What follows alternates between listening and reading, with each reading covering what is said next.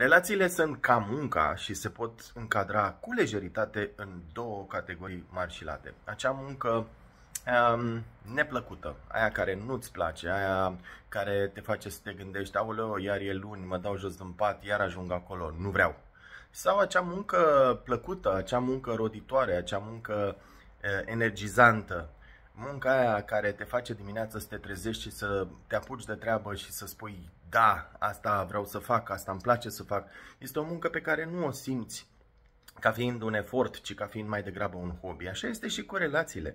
Relațiile care nu funcționează, relațiile disfuncționale sau toxice, deși nu sunt de acord cu acest termen, sunt exact la fel. Stai în ele, taci și înghiți, din diferite motive, pentru copii, pentru statut, pentru avere, pentru știu eu ce.